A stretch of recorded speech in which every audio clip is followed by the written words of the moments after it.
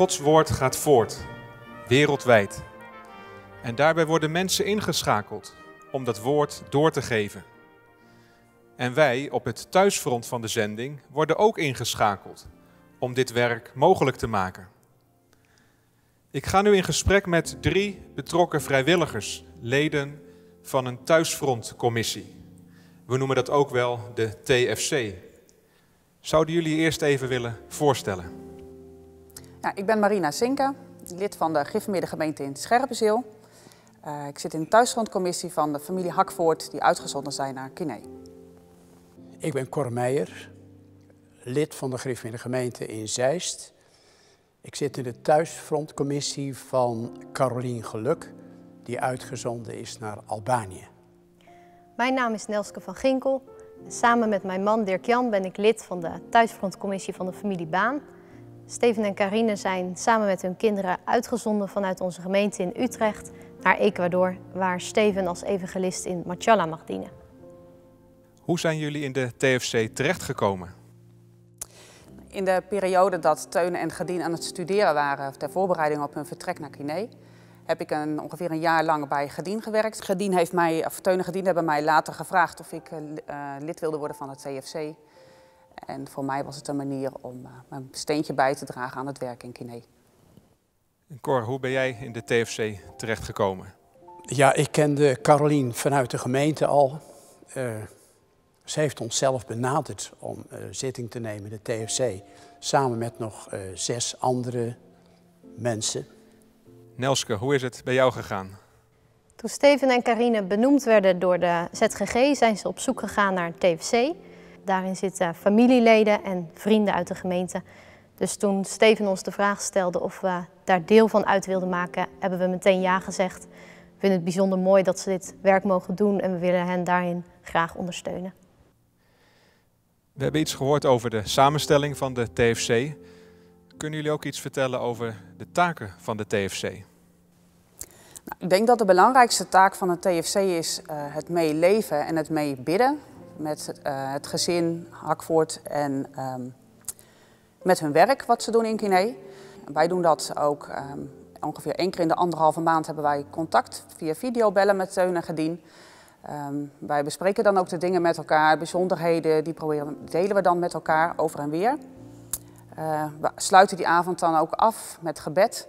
Dat is heel waardevol. Kine voelt dan ineens uh, toch een heel stuk dichterbij. Daarnaast hebben wij een uh, PR, iemand in de TFC. En die regelt de zaken met de gemeente Woudenberg. die zorgt voor de verspreiding van de nieuwsbrief, voor de informatie in de kerknieuws. En daarnaast doen wij ongeveer één keer in de, één à twee keer per jaar een, uh, voor de fondswerving een leuke activiteit in de gemeente. Of met de school in Scherpenzeel of met de school in Woudenberg waar de kinderen hakvoort op zitten als ze in Nederland zijn. Uh, Carolien die is ongeveer een jaar geleden uitgezonden. En wij proberen ook op een praktische manier bezig te zijn. Stel dat ze met verlof terugkeert, dan zijn er ook allerlei zaken die de aandacht vragen, woonruimte enzovoort enzovoort. Bovendien willen we ook als een soort klankbord fungeren. Dus er kunnen bepaalde dingen zijn die ze graag uh, kwijt wil. Binnen de TVC is daar ook gelegenheid voor en ruimte voor. Dus zo proberen we eigenlijk met elkaar ook aandacht te geven aan het zendingswerk. Hoe onderhouden jullie contact met de uitgezonden werker? Wij proberen als TFC regelmatig met Steven en Carine te videobellen. Zo hebben we een paar weken geleden nog met alle leden uh, een Zoom-meeting gehad... waarbij we Steven en Carine ook echt konden zien. En dat is heel fijn, dan voel je je toch wel dichterbij. Nog een voorbeeld te noemen. Op de uh, nieuwjaarsbijeenkomst hebben we ook een vlog opgenomen... waarbij we een aantal gemeenteleden even aan het woord lieten komen... En op die manier proberen we ook Steven en Carine een kijkje te geven in de gemeente. En de andere kant proberen we de gemeenteleden te betrekken bij het werk in Ecuador. Uh, Carolien die uh, verzorgt zelf ook de rondzendbrief. Aan de hand van wat er in die rondzendbrief staat, uh, daar kunnen ook weer leden op reageren. Het is ook zo dat uh, we Carolien vragen of er speciale punten zijn die ze ook aan de orde wil stellen, ook in het gebed tijdens de eredienst. Die geven wij dan door aan de, aan, aan de kerkraad, zeg maar. En verder hebben wij contact natuurlijk ook via videobellen. Regelmatig wordt er een appje gestuurd. En ook de, tijdens de TFC-vergaderingen proberen we ook contact te leggen met haar. Hoe heeft het werk voor de TFC jullie eigen betrokkenheid bij het zendingswerk beïnvloed? Ik weet eigenlijk niet wat eerst was. Uh, al in mijn jeugd werd ik meegenomen naar de zendingsdagen. En ik herinner me nog heel goed dat daar Dominic Kuit sprak. En Dominic die had altijd geweldige, spannende verhalen van uh, wat hij er allemaal beleefde in Irian Papua of Nieuw-Guinea heette het toen. Dat is me altijd bijgebleven. Daarnaast uh, de Paulus, die ook regelmatig voorbij kwam. En dan kom je er ook achter uh, wat er eigenlijk speelt in het zendingswerk. Ik uh, moet heel eerlijk zeggen dat ik me nooit zo heel erg betrokken voelde bij het zendings, uh, zendingswerk. Maar doordat ik bij Gediend ben gaan werken en ehm, bij hun heb gezien wat het betekent om uitgezonden te worden, welke impact het heeft op het gezin, uh, de gesprekken die ik met hun gehad heb, ben ik eigenlijk uh, betrokken geraakt bij het zendingswerk. En ja, voelde ik die betrokkenheid ook steeds meer groeien. Doordat mijn ouders zelf uitgezonden zijn geweest voor de ZGG, hebben we ons altijd wel heel betrokken gevoeld bij het zendingswerk. Maar ik denk dat die betrokkenheid door lid te zijn van een thuisfrontcommissie wel sterker is geworden. Je maakt gewoon van dichtbij mee waar het gezin doorheen gaat. Je ziet de mooie momenten, het uitleven naar de, toeleven naar de uitzending. Maar ook andere momenten, zoals het afscheid moeten nemen en dingen die geregeld worden. En soms kan er een wat romantisch beeld ontstaan van het zendingsveld. Het is natuurlijk heel erg mooi en bijzonder als je mag zien dat er vrucht op het werk is, dat de gemeente uh, bloeit en dat de Heer daarmee doorgaat. En tegelijkertijd zijn er ook hele moeilijke omstandigheden. Juist in deze coronatijd merken we dat. En daarin hebben we wel gezien hoe belangrijk het is om als gemeente en als TFC betrokken te zijn. Steven heeft natuurlijk een roeping gekregen voor dit werk. Maar ik geloof dat we als zendende gemeente ook een roeping hebben om hierin um, dicht om hen heen te staan. En door het gebed en door het mee te leven te laten zien dat je um, er ook bij betrokken bent. En ik ben heel blij dat wij in de TFC daarin een rol mogen hebben. En dat we samen met Steven en Carine mogen meebidden dat hun zender zijn werk zal bevestigen.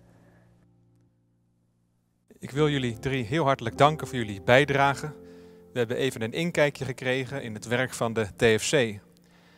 We hebben gezien dat de TFC een belangrijke schakel is. Ja, een onmisbare schakel tussen het thuisfront en het zendingsveld. Omdat het thuisfront en het zendingsveld nauw aan elkaar verbonden zijn.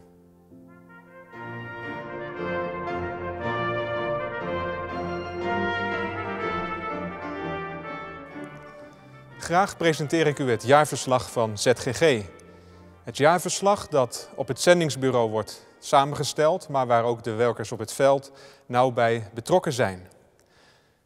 Hanneke van Ekkerveld, communicatiemedewerker bij ZGG, is de redacteur van het jaarverslag. Hanneke, hoe komt het jaarverslag tot stand?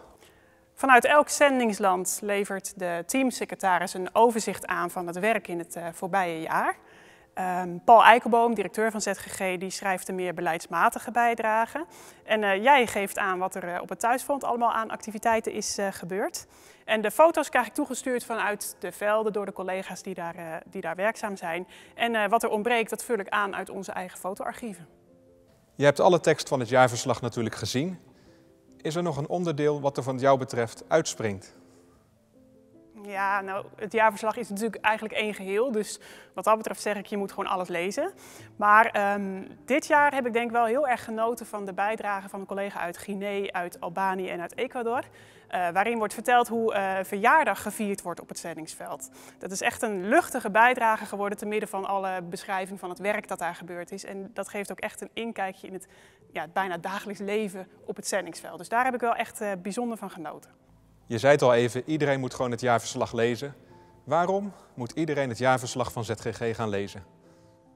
Omdat het een compact en echt goed geschreven beeld geeft van een jaar lang zendingswerk. Het is echt onvoorstelbaar wat er in één jaar allemaal op een zendingsveld uh, gebeurt en uh, bij ZGG gebeurt. En uh, als ik dan even in het voorwoord kijk, daar schrijft onze secretaris dominee De Haan... Het zendingswerk mocht voortgang hebben door de krachtige werking van Gods geest. En dat is waar deze brochure het diepste over gaat. Het jaarverslag van ZGG is dit jaar digitaal te lezen. U kunt het vinden op onze website. Ga naar zgg.nl/jaarverslag.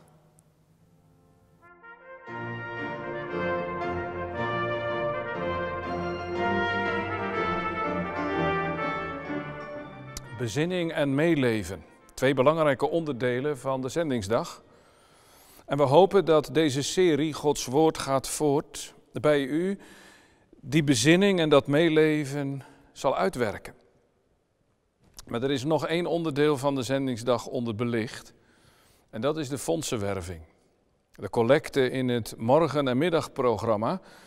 De verkoop in de stands. En nou ja, u breidt het in gedachten al uit. Jaarlijks levert het de zendingsdag veel geld op. En dat is dus geld dat ZGG nu misloopt. De fondsenwerving voor onze zending staat in deze tijd toch al onder druk. Vanwege het coronavirus kunnen we immers ook veel verkopingen en fietstochten niet laten doorgaan. Ondertussen gaan de uitgaven voor het zendingswerk wel door. En uiteraard heeft het produceren van deze filmopname ook geld gekost. Daarom wil ik u vragen uw zendingsdaggift over te maken.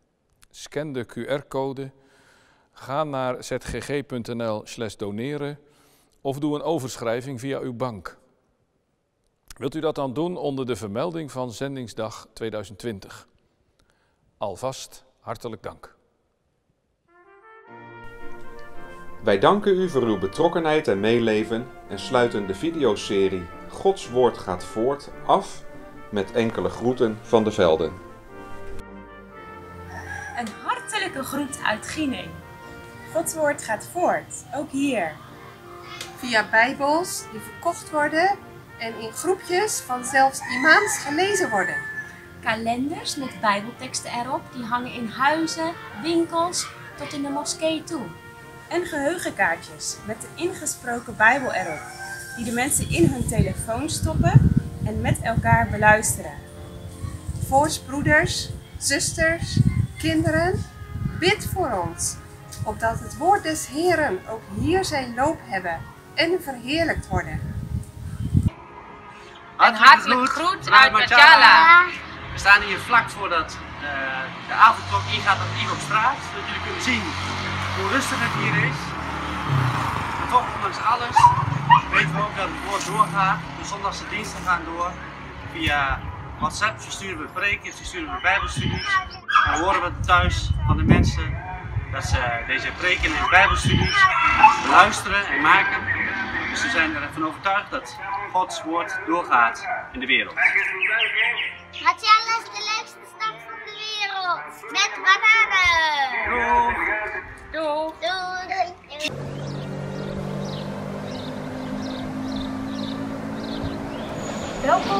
We zijn hier in Durrës. U heeft het gezien, een hele mooie stad met heel veel huizen, mensen, gezinnen, kinderen die Gods woord mogen horen en moeten horen. We verlangen ernaar dat Gods woord hier gebracht wordt. En we willen u danken voor uw steun en betrokkenheid het afgelopen jaar in het werk van ZGG. We mogen hier zijn vanuit Gods opdracht dat er genade en vrede vinden is in Christus en dat dat gehoord moet worden over de hele wereld. Gods woord gaat voort.